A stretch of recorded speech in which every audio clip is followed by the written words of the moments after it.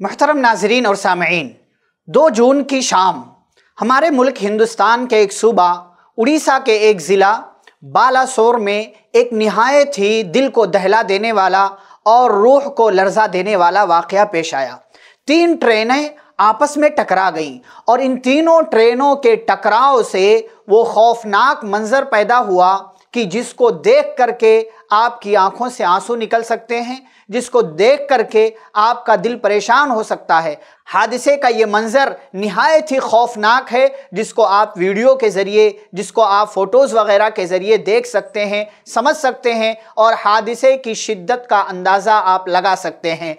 तीन सौ से जायद लोग इस हादसे के अंदर इंतकाल कर चुके हैं नौ सौ से जायद लोग इस हादसे के अंदर ज़ख्मी हैं, जैसा कि रिपोर्ट वगैरह में बताया गया है। इस हादसे के पीछे रीज़न क्या है? इसबाब क्या हैं? ये काम तो पुलिस का है और रेलवे महकमे का है, हुकूमत का है और ये सारे काम हुकूमत करेगी और उन्हें करना भी चाहिए। लेकिन इस हादसे पर हम अपनी तरफ़ से गहरे रंजो गम का इजहार करते हैं। जिन लोगों का इंतकाल हुआ है, जिनके रिश्तेदार इस हादसे में मारे गए हैं, हम उन तमाम लोगों से ताज़ियत का इजहार करते हैं। हम उनके गम में शरीक हैं और जो लोग इंजर्ड हैं, जो लोग ज़ख्मी हैं, जो लोग हॉस्पिटल वगैरह में एडमिट हैं, हम उनके ताल्लुक़ से दुआ करते हैं कि अल्लाह ताला उन्हें जल्द अज जल्द ठीक कर दे और वो सही सलामत अपने घर को वापस चले जाएँ। ये हादसा हुआ और यह हादसा मुकद्दर था।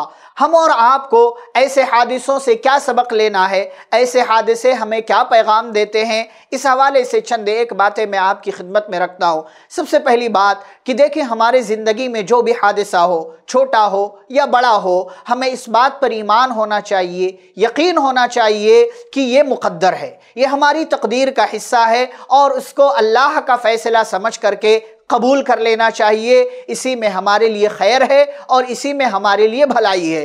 दूसरी बात ये कि हम जब सफ़र पर निकलें तो हमें सफ़र के तमाम तर लवाजिमात का, तमाम तर ज़रूरी चीज़ों का ख्याल रख करके अपने घर से निकलना चाहिए। दुआ पढ़ करके हम और आपको निकलना चाहिए। अपने आप को अल्लाह के भरोसे और अल्लाह के हवाले करके निकलना चाहिए। और रास्ते में ऐसी तमाम गैर ज़रूरी चीज़ों से, बेकार चीज़ों से अपने आप को दूर रखना चाहिए कि जिसकी वजह से हमारी ज़िंदगी में हमारे साथ कुछ बुरा हो जाए। और अगर इन सारी चीज़ों को अपनाने के बावजूद भी अगर हादसा हो जाए तो हमें अल्लाह का फ़ैसला समझकर, रब का फ़ैसला समझकर उसको कबूल करना चाहिए।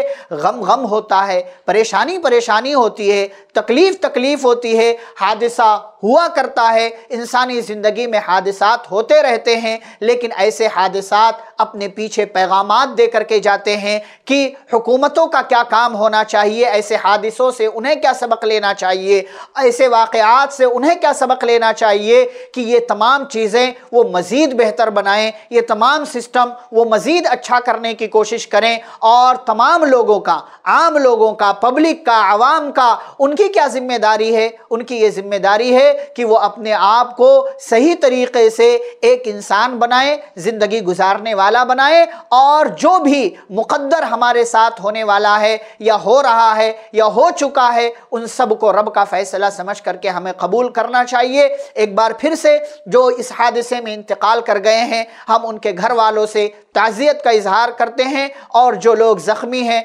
ज़ख्मियों के लिए हम शिफायाबी की दुआ करते हैं। अल्लाह ताला हम तमाम लोगों को हर किस्म की दुनियावी आफतों से, मुसीबतों से महफूज रखे, हर किस्म के हादसा से महफूज रखे, अचानक आने वाली बीमारियों, परेशानियों मुश्किल और तकलीफ़ से अल्लाह हम सब की हिफाजत फरमाए, आमीन। वसल नबी करीम। वसलम वरहमल वर्का ऐसे ही फ़ायदेमंद इस्लामिक वीडियोस देखने और मनहज सलफ़ पर किताब सुन्नत की तालीमत को आम करने में हमारा ताउन करें, ताकि आपके लिए ज़रिया नजात, जन्नत के हसूल का सबब, साथ ही माल में बरकत व इजाफे का ज़रिया भी बने।